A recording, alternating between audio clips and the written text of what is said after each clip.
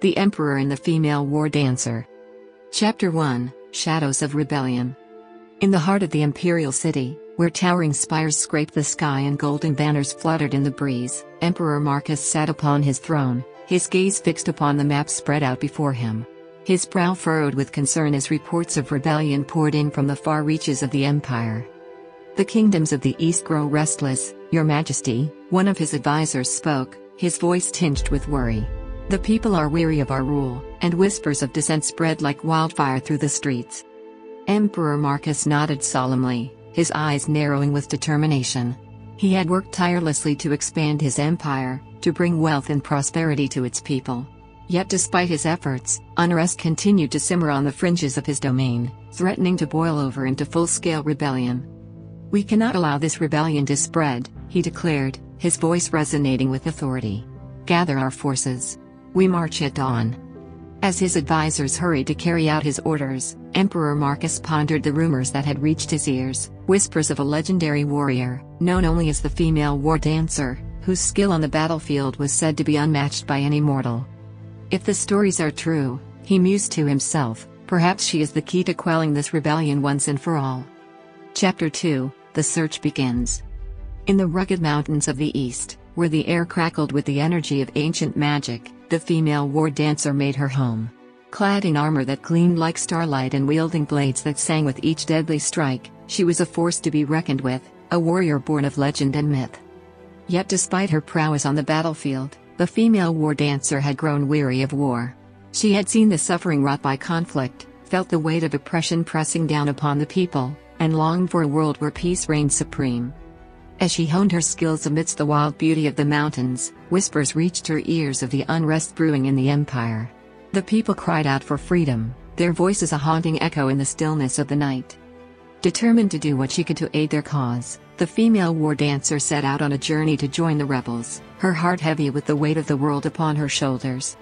Meanwhile, in the imperial city, Emperor Marcus dispatched his most trusted emissaries on a quest to find the legendary warrior whispered about in the taverns and marketplaces, the female war dancer.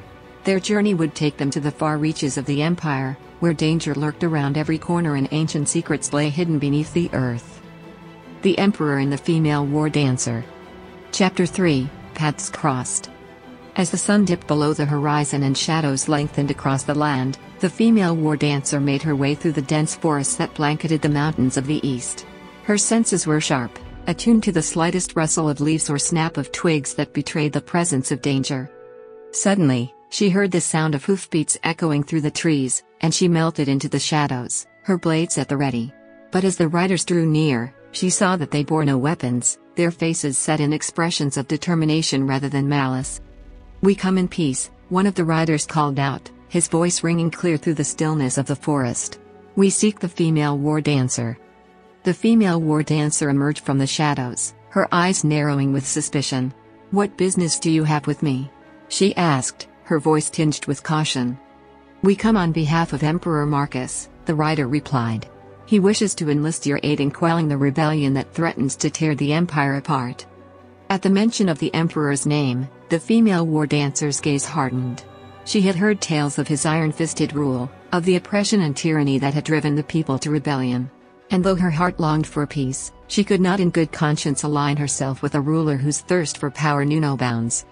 Tell your emperor that I have no interest in serving his cause, she declared, her voice cold as steel. The people of the empire deserve better than his tyranny. With that, she vanished into the depths of the forest, leaving the riders to ponder her words. Chapter 4 A Change of Heart. As Emperor Marcus awaited word from his emissaries, his thoughts were consumed by the rebellion that threatened to engulf his empire in flames. He knew that he needed to act swiftly if he was to maintain his grip on power and preserve his legacy for future generations. Yet even as he planned his next move, a seed of doubt began to take root in his heart. He had always prided himself on his strength and authority, on his ability to bend others to his will through force of arms.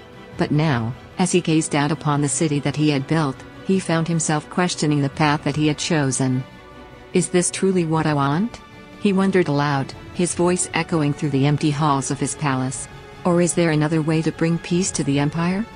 It was then that his advisors returned, their faces grim with news of their encounter with the female war dancer.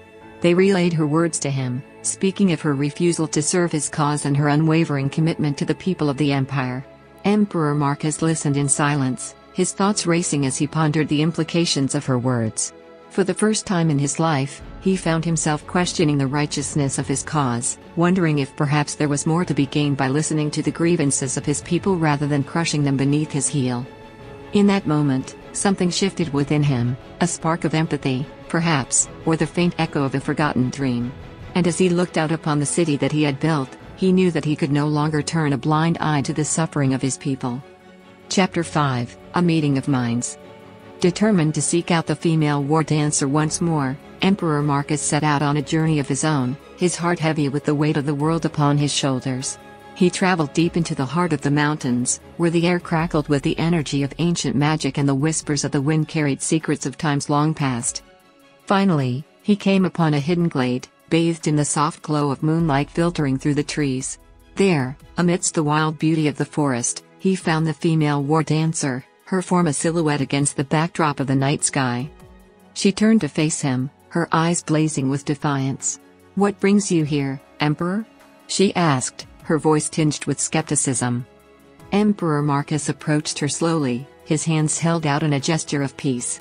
I come not as your enemy, but as someone who seeks to understand, he replied, his voice soft yet determined. I have heard the cries of the people, felt the weight of their suffering pressing down upon me. And though I have wielded power with an iron fist, I now realize that true strength lies not in domination, but in compassion. The female war dancer regarded him with caution, her gaze searching his face for any hint of deception. Yet as she looked into his eyes, she saw something unexpected, a flicker of humanity, perhaps, or the faint echo of a forgotten dream. I have seen the suffering wrought by conflict, felt the weight of oppression pressing down upon the people, she confessed, her voice heavy with emotion. And though my heart longs for peace, I fear that it may never be achieved so long as the empire remains divided. Emperor Marcus nodded solemnly, his gaze unwavering. Then let us work together to forge a new path forward, he proposed, his voice ringing clear through the stillness of the night. Let us listen to the grievances of our people, address their concerns, and strive to build a world where peace reigns supreme. And in that moment, beneath the canopy of stars that stretched across the sky, Emperor Marcus and the female war dancer forged an alliance unlike any the Empire had ever seen. With their minds united and their hearts aligned, they set out to bring peace to a land torn apart by strife. Chapter 6 A New Dawn As the sun rose on the horizon, casting its golden rays across the land, Emperor Marcus and the female war dancer emerged from the depths of the forest, their resolve stronger than ever before. Together, they rallied the forces of the empire, inspiring courage in the hearts of their people and forging bonds that would withstand the harshest of trials. With Emperor Marcus's strategic brilliance guiding their every move and the female war dancers' unmatched skill on the battlefield turning the tide of the fight, they led the imperial army against the rebel forces, their alliance a beacon of hope in a world consumed by darkness. And as the dust settled and the cries of battle faded into silence, they stood victorious amidst the ruins of war, their alliance a testament to the power of compassion and understanding. For in their unity, they had not only saved the empire from destruction but paved the way for a new era of peace and prosperity for all who called it home. And as they looked out upon the city that they had saved, they knew that their journey was far from over. For though the road ahead would be fraught with challenges and obstacles, they would face them together, hand in hand, as allies and friends. For in the annals of history, there would always be remembered the emperor and the female war dancer, whose courage and sacrifice had changed the course of destiny and brought light to a world consumed by darkness.